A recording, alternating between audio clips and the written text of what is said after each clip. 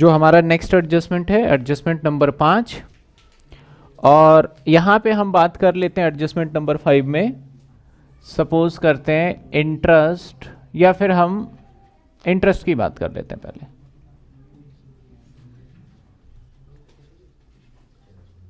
Interest on capital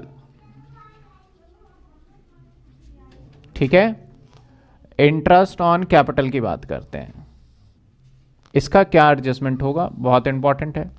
सबसे पहले तो आपको ये तय करना होगा कि जनाब इंटरेस्ट ऑन कैपिटल होता क्या है? इनकम होता है एक्सपेंस होता है, या एसेट्स होता है, या लाइबिलिटी होता है।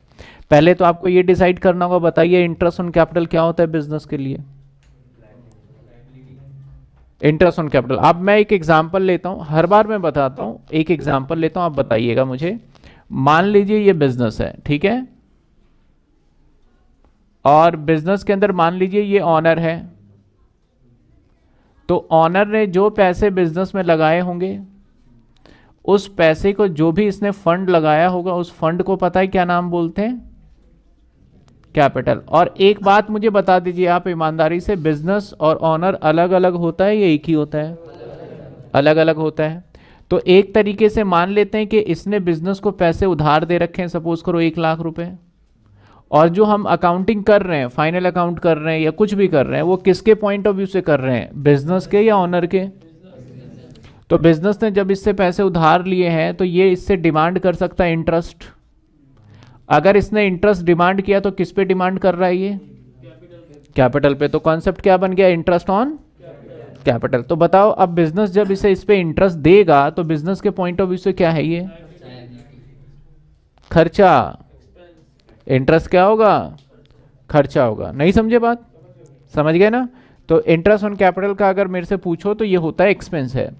अब मुद्दे की बात सर इसके अंदर भी क्या दो जगह गिवन हो सकता है? बिल्कुल। ये या तो आपको गिवन हो सकता है कहाँ पे? ट्रायल बैलेंस में। या फिर आपको कहाँ गिवन हो सकता है ये? एडजस्टमेंट में। सर, अगर ट्रायल बैलेंस और एडजस्टमेंट की हम बात करते हैं, अगर गिवन हुआ ट्रायल बैलेंस में तो कितनी एंट्री जाएगी? एक एंट्री और एक एंट्री पता है कहाँ जाएगा? क्योंकि खर्चा है तो प्रॉफिट एंड लॉस के डेबिट साइड समझ जाते हो ना प्रॉफिट एंड लॉस के डेबिट साइड का मतलब? यानी टू साइड में। नहीं समझते हो तो आज हम एक किसके बाद क्वेश्चन भी करने वाले हैं। प्रैक्टिकल उसमें सब क्लियर हो जाएगा। ठीक है? दूसरा एडजस्टमेंट में हुआ तो कितनी जगह रिकॉर्ड करना चाहिए हमें? वी शुड बी रिकॉर्ड दो जगह पे हमें करना है। दो जगह कहाँ करना है सर एक तो हमें करना पड़ेगा ये।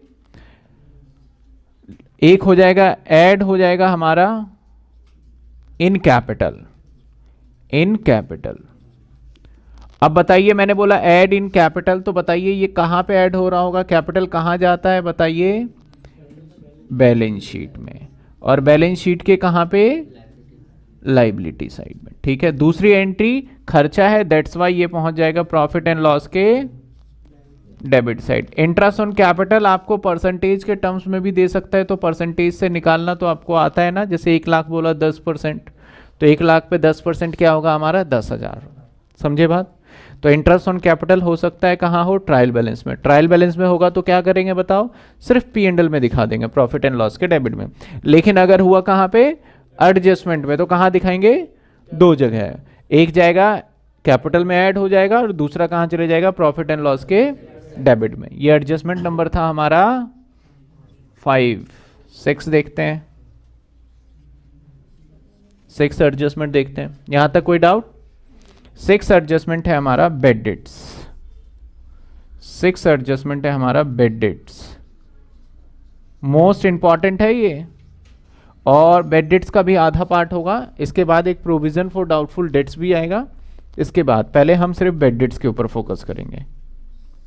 बेड डेट्स क्या होता है बिज़नेस के लिए? खर्चा? नुकसान? तो बेड डेट्स भी दो जगह गिवन हो सकता है ना? कहाँ कहाँ गिवन हो सकता है आपका?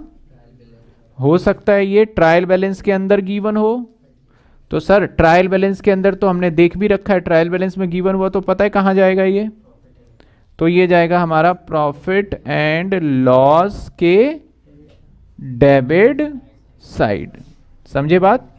तो ये जाएगा प्रॉफिट एंड लॉस के डेबिट साइड लेकिन दूसरा कहाँ गिवन हो सकता है? एडजस्टमेंट में। अगर एडजस्टमेंट में हुआ तो कितनी एंट्री करनी चाहिए बताइए? दो एंट्री करनी चाहिए। दो एंट्री कहाँ कहाँ? एक तो चला जाएगा, हमारा लेस हो जाएगा डेटर में, क्योंकि जब कभी भी बेड डेट्स होगा तो आप खुद समझिए बेड डेट्स के केस में हमारा डेटर तो घट जाएगा ना। बेड डेट्स मतलब डेटर गया। तो सबसे पहले हमें क्या करना होगा? लेस कर देंगे हम फ्रॉम किससे? डेटर से। किससे कर देंगे? डेटर से। और डेटर कहाँ होता है बताओ? बैलेंस शीट के एसेट साइड में। ठीक है ना? बैलेंस शीट के एसेट साइड दूसरी एंट्री की अगर हम बात करें तो कहाँ जाएगा? क्योंकि नुकसान है ये। तो दूसरी एंट्री चली जाएगी हमारी प्रॉफिट एंड लॉस के डेबिट साइड में चला जाएगा। प्रॉफिट एंड लॉस के डेबिट साइड ठीक है? तो अभी हमने कितने एडजस्टमेंट देख लिए? एडजस्टमेंट नंबर पाँच एडजस्टमेंट नंबर सिक्स देखा। इंपॉर्टेंट था ये भी। और एक हमने एडजस्टमेंट चार भी देखा था इससे पहले। तो छह एडजस्टमेंट हो गए। कंटिन्यू में आप नोट करिए। बेड डेट्स का क्या था? दोबारा रिपीट कर देता हूँ सर बेड डेट्स में क्या होगा? ट्रायल बैलेंस में हुआ तो सिर्फ़ प्रॉफिट एंड लॉस में और एडजस्टमेंट में हुआ तो एक तो डेटर से माइनस और दूसरा प्रॉफिट एंड लॉस के डेबिट में। कोई डाउट यहाँ तक? नहीं इसके बाद जो हम करने वाले हैं वो करेंगे एक प्रैक्टिकल क्वेश्चन